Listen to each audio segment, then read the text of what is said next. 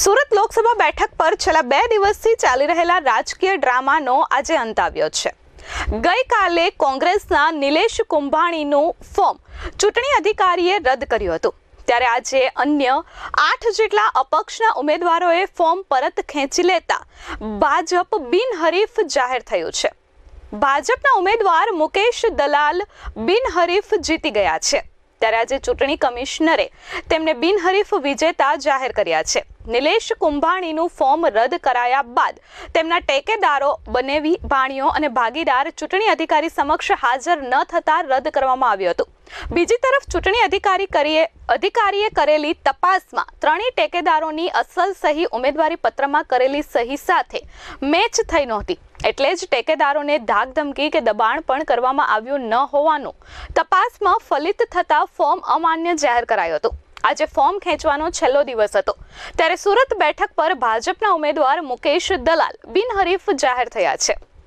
કારણ કે સુરત લોકસભા બેઠક પર અપક્ષ સહિત આઠ ઉમેદવારો પૈકી સાત ઉમેદવારોએ ફોર્મ પરત ખેંચ્યું હતું. બાદમાં બહુજન સમાજ પાર્ટીના ઉમેદવાર પ્યારેલાલ ગાયબ થયા હતા. પણ થોડીક વાર પછી તે કલેક્ટર કચેરી પહોંચ્યા હતા અને ઉમેદવારી પત્રક પાછું ખેંચી જતા ચૂંટણી પંચે મુકેશ દલાલને વિજેતા જાહેર કર્યા છે. મુખ્ય ચૂંટણી કમિશનર સૌરભ પારધીએ મુકેશ દલાલને સર્ટિફિકેટ આપી વિજેતા જાહેર કર્યા છે. ત્યારે આ મામલે સીઆર પાટીલે એક પોસ્ટ લખી છે, જેમાં તેમને પહેલું કમળ પ્રધાનમંત્રીને સુરતે આપ્યું છે. તેવો ઉલ્લેખ કર્યો છે.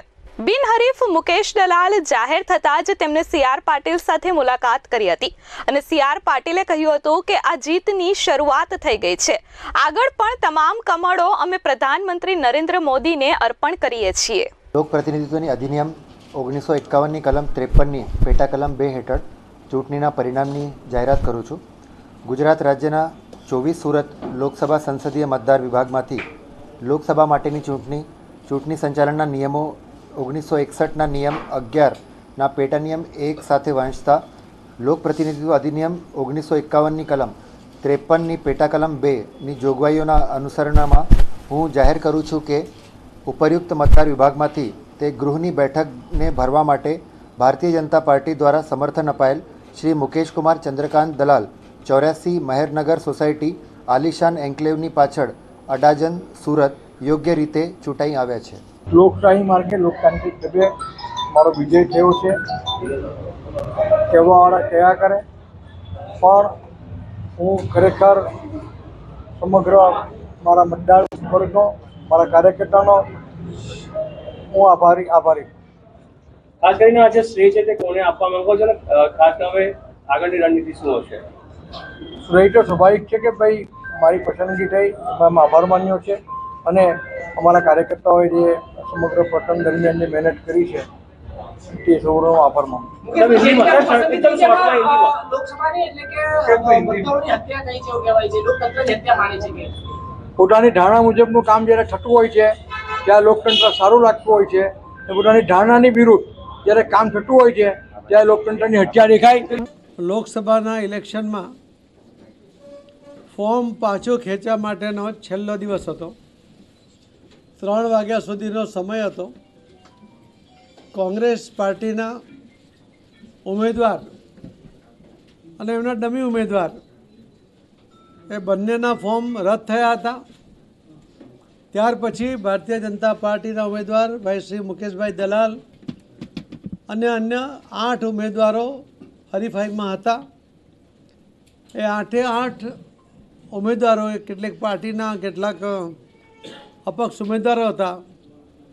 એમણે આજે પોતાનો ઉમેદવારી પાછી ખેંચી લેવાને કારણે સુરત કલેક્ટરશ્રી દ્વારા શ્રી મુકેશભાઈ દલાલ, જે ચોવીસ સુરત લોકસભાના ઉમેદવાર હતા, એમને બિનહરીફ ચૂંટાયેલા જાહેર કર્યા છે.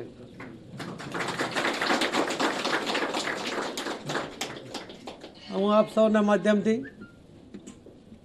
સૌ ગુજરાતના ભાઈ બહેનોને પણ મેસેજ આપવા માગું છું કે ઇલેક્શન પહેલાં જ જે રીતે કોંગ્રેસે ડ્રામા કર્યો પહેલો આક્ષેપ કર્યો કે એમના જે ઉમેદવારના ટેકેદારો હતા, એમનું અપહરણ થયું છે. ઉમેદવારે પોતે એ વાતનું ખંડન કર્યું.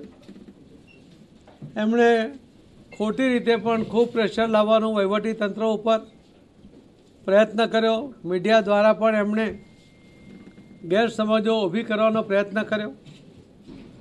પરંતુ આજે સચ સામે આવ્યું છે. ભારતીય જનતા પાર્ટીના ઉમેદવાર શ્રી મુકેશભાઈ દલાલ બિનહરીફ ચોવીસ વર્ષ લોકસભામાં એ જાહેર થયા છે. હું શ્રી મુકેશભાઈ દલાલ એમને અને સૌ કાર્યકર્તાઓને ખૂબ ખૂબ અભિનંદન આપું છું. Bureau report S twenty four news Surat.